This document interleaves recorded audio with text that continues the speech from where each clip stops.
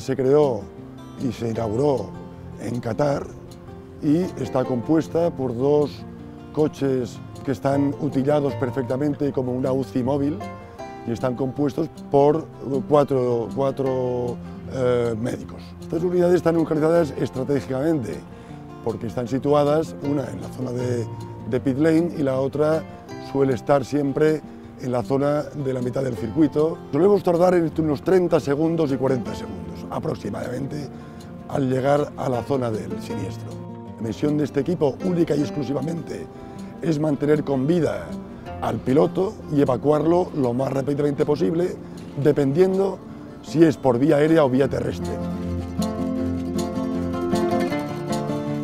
Este coche es el que se pone en marcha desde el Race Control cuando hay un accidente de, alta energía ¿eh?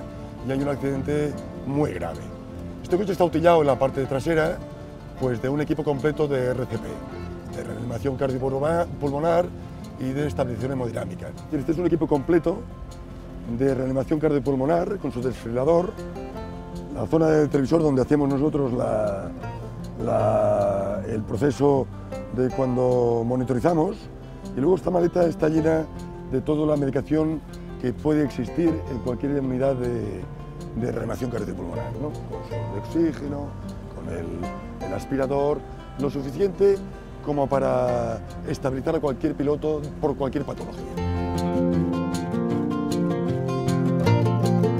Este es el, nuevo hospital de, del Mundial de MotoGP. ¿no? En la clínica móvil hay los despachos médicos, la unidad de fisioterapia, eh, que es lo que hacen los pilotos con sus eh, fisioterapeutas, la parte de masaje y demás.